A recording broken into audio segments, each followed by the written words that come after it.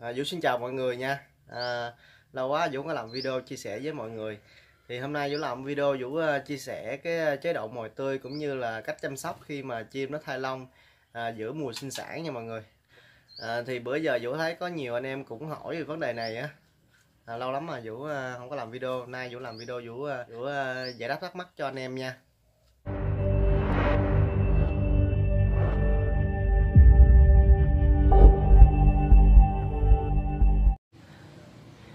Thì con trống này à, sáng Vũ mới à, bắt rau à, qua cái AV này các bạn. Ừ, tại cái cặp này nó sinh sản nó khá là trễ mọi người. Nó kết thúc một sinh sản khá là trễ. À, mấy cặp khác nó, nó thai lông cũng khá là lâu rồi. Có con thai lông cũng gần xong hết rồi. Nhưng mà cặp này nó sinh sản trễ á nên bây giờ nó mới bắt đầu thai lông á sáng Vũ mới bắt qua đây để cho nó nghỉ ngơi để cho con mái chủ yếu là Vũ cho con mái bên kia nó nghỉ ngơi mọi người. Để nó phục hồi lại uh, sức khỏe sau cái một mùa uh, sinh sản á.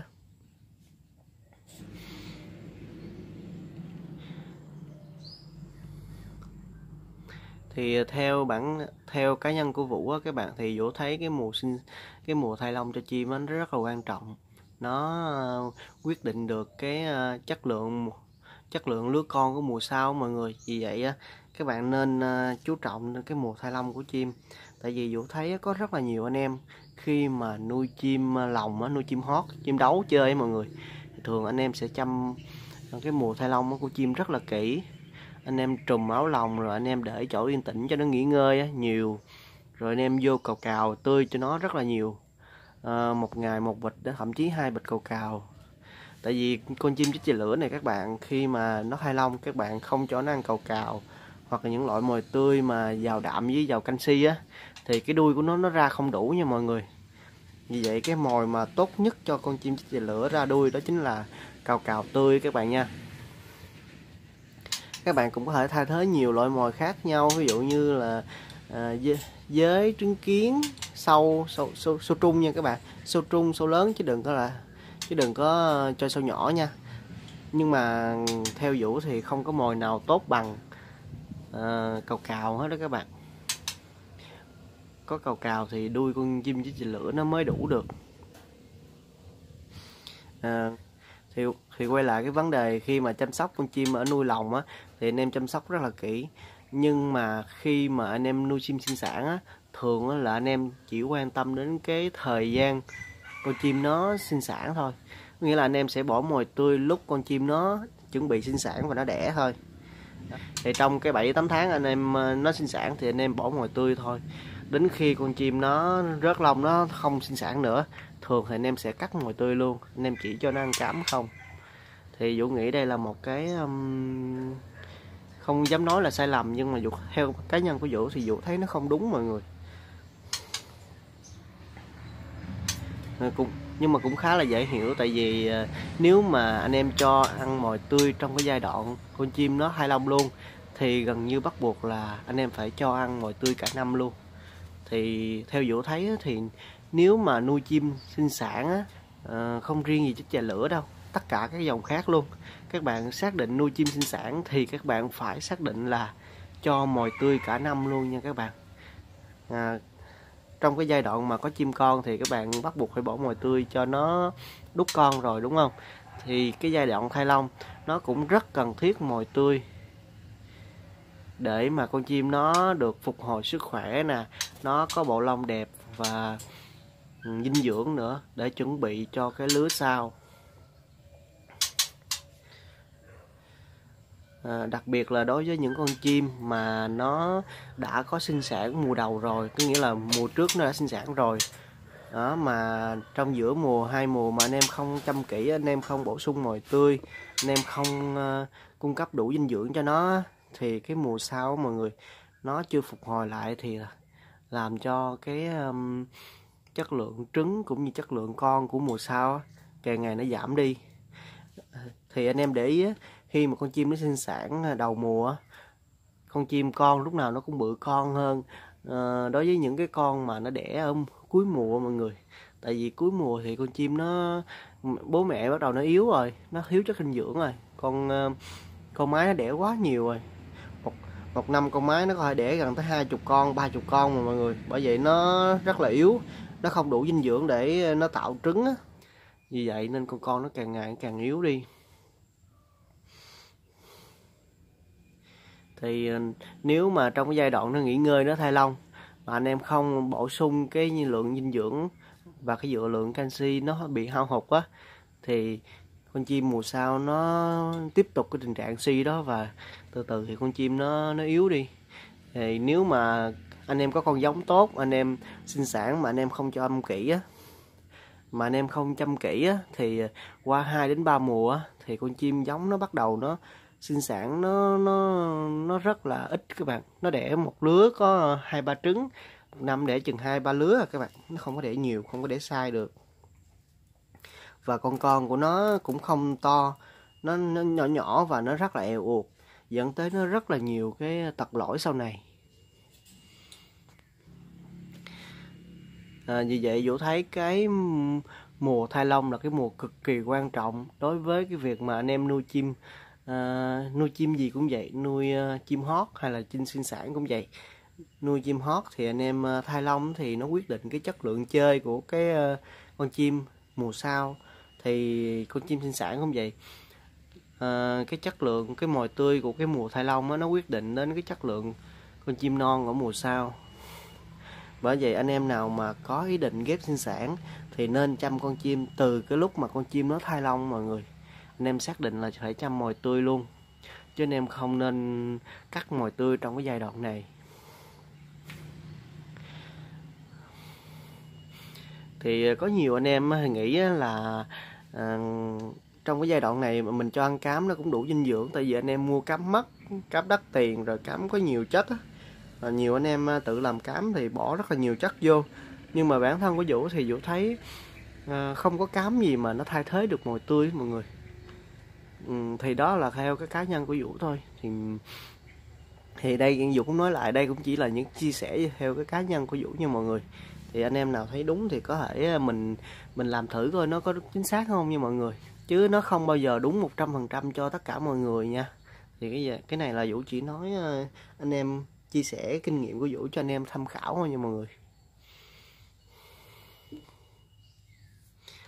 Đối với bản thân của Vũ thì Vũ thấy à, cái mùa thai lông thì à, con mái nó quan trọng hơn con trống. Cái này thì Vũ nói chắc cũng rất là nhiều trong những video rồi, à, trước rồi. Thì mùa thai lông của con mái nó rất là quan trọng. Nó cần được nghỉ ngơi cần được à, lấy lại sức rồi cần được à, bổ sung chất dinh dưỡng đạm và canxi nhiều để cho cái mùa sau nó phát triển. Bởi vậy có nhiều loại mồi hay cầu cào hay là vũ đi bắt á. Cầu cào hay thạch sùng hay là mấy con rít nhỏ này nọ thường là vũ sẽ cho con mái ăn nhiều hơn các bạn. Con chó vũ ít cho ăn lắm. Thì khi mà chim bắt đầu thai lông và nó ngừng sinh sản á mọi người, thì vũ sẽ tách ra để cho nó được nghỉ ngơi. Mỗi con một ờ, một buồng nó nghỉ ngơi. Thì cái avi của vũ vũ thiết kế là bên trong nó có nắng mọi người bên trong nó có nắng tí xíu để cho nó phơi nắng nè. Rồi ờ, có mưa gió nữa để cho nó nó muốn tắm mưa thì nó sẽ tắm mưa luôn. Tại con chim tắm mưa thì lông nó sẽ rất là đẹp nha. Rồi à, bên đây vũ có một cái máng nước. Cái máng nước này à, Vũ bơm cho chim nó vừa uống vừa tắm luôn mọi người. Vì vậy nên Vũ à, gần như là nếu có thời gian thì cứ ngày nào Vũ cũng ra Vũ thai còn nếu không có thời gian thì hai ba ngày Vũ ra Vũ thai chú sẽ dặn cái quanh ngoài ở ngoài á để cho nó xả tràn luôn.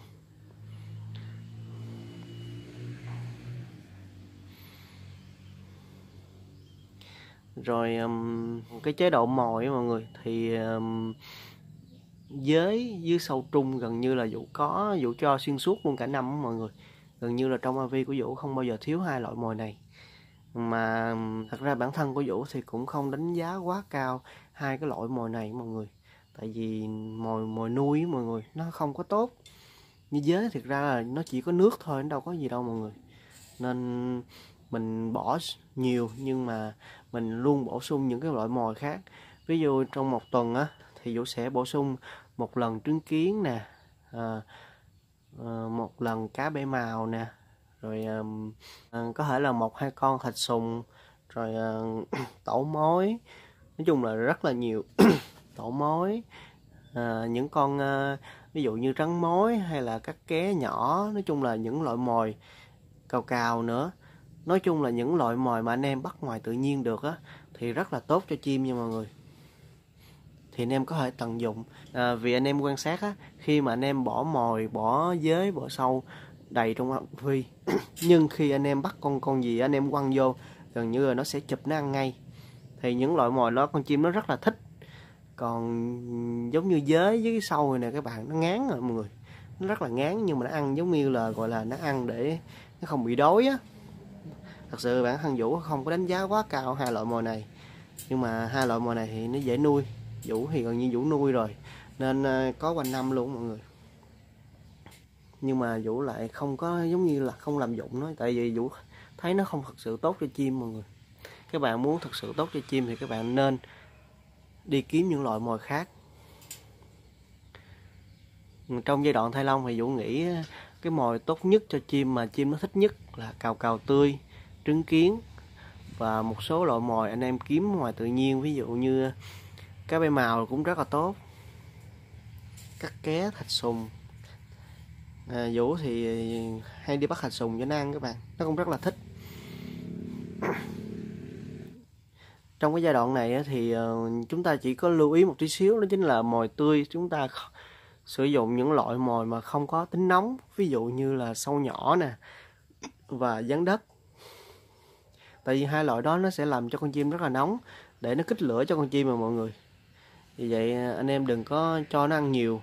Thì một tuần thì vũ chỉ cho nó ăn một chung nhỏ, nửa chung nhỏ, sâu nhỏ thôi, để cho nó, gọi là, nó nó có khẩu phần nó nó giống như nó thay đổi khẩu phần ăn các bạn.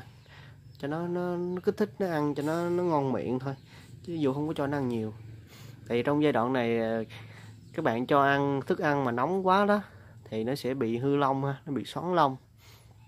Con chim mình nó thay lông nó hư luôn. À, nó chỉ có cái nó chỉ có cái lưu ý vậy thôi mọi người. Chứ thực ra à, chăm chim thay lông nó cũng y chang như là mình nuôi chim sinh sản vậy thôi. Dù thấy nó cũng không có gì đâu. Nó cũng không có gì khó khăn, cũng không có gì mà cầu kỳ hết đó mọi người. Rất là đơn giản ha. Còn về à, cám thì à, cám là vũ này, vũ tự làm mọi người. Cám này à, vũ cũng làm cám nền từ bột bình dương thôi. Vũ bỏ thêm một ít trứng rồi thêm một số thành phần khác. Nhưng mà trong đây thì cái mùa sinh sản mọi người Vũ sẽ bỏ nhiều sâu khô một tí xíu để cho con chim nó, nó kích nó lửa nó chơi mà. Còn à, khi mà mùa thay lông thì Vũ sẽ à, hạn chế sâu khô là Vũ sẽ bỏ ít lại. Thậm chí là không bỏ luôn mọi người. Chủ yếu là trứng thôi. Với uh, năng bột năng mực để bổ sung đạm với canxi cho chim thôi. Thì bữa giờ có nhiều anh em cũng hỏi về cách làm cám của Vũ thì bữa nào uh, tới lúc làm cám Vũ sẽ quay lại cho anh em ha bữa giờ dũng cũng chưa có làm. Thì đó là các cách mà Vũ ờ, chăm con chim nó thay lông mọi người ha. Thì ờ, hôm nay Vũ ờ, chia sẻ với tất cả mọi người. Thì bữa giờ cũng có nhiều anh em hỏi thì mà Vũ không có làm video được. Bữa nay Vũ làm video chia sẻ cho tất cả mọi người ha. Thì um, bạn nào mà có thắc mắc vấn đề gì hay là Ờ, chưa hiểu vấn đề gì á thì có thể để lại câu hỏi dưới phần bình luận video nha các bạn. Vũ sẽ trả lời uh, cho tất cả các bạn. Nếu mà Vũ thấy ờ, bạn nào đặt câu hỏi nào mà hay á được nhiều người đặt giống nhau á thì Vũ sẽ làm một cái video Vũ chia sẻ Vũ uh, giải đáp thắc mắc cho tất cả mọi người nha. Thì video của Vũ đến đây thì Vũ xin dừng nha mọi người nha. Vũ xin uh, cảm ơn tất cả mọi người rất là nhiều đã xem cái video của Vũ. À, bạn nào xem video của Vũ thấy hữu ích thì cho Vũ xin một like với một lượt đăng ký nha. Vũ xin à, cảm ơn tất cả mọi người rất là nhiều. Vũ xin chào tất cả mọi người.